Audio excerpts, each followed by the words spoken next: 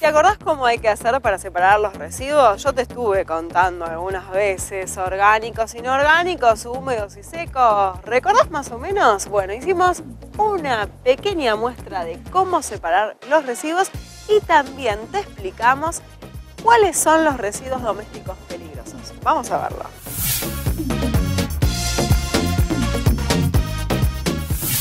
La separación de residuos es vital para el crecimiento de una sociedad. París prohíbe en el 1100 arrojar basura por las ventanas. Es así que comienza este camino hacia la necesidad de que las sociedades encuentren la forma de gestionar su residuo. El residuo tiene un valor y no debe convertirse en basura.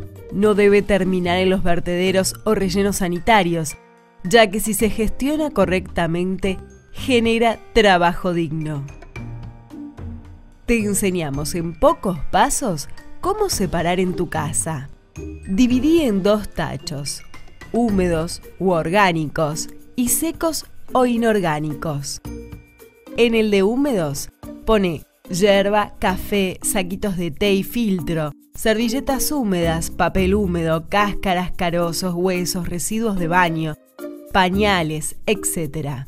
En el de secos, Plástico, tergopor, nylon, papel, cartón, metales, latas, sin restos de comida, envases plásticos, vidrio, envases de tetrapack, todo tratando de que esté lo más limpio posible. Evita tirar pilas alcalinas, medicamentos vencidos, baterías de auto, cartuchos de impresoras, termómetros de mercurio, envases vacíos de productos de limpieza, herbicidas, pesticidas, agroquímicos, latas de pinturas.